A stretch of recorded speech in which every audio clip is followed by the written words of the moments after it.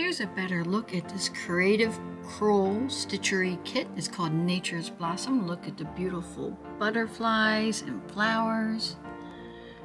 This is what we call new old stock. It is very old. The person bought the kit and just never did it. And so I was able to buy this at a garage sale for a dollar fifty and I sold it on Etsy for $39 plus shipping.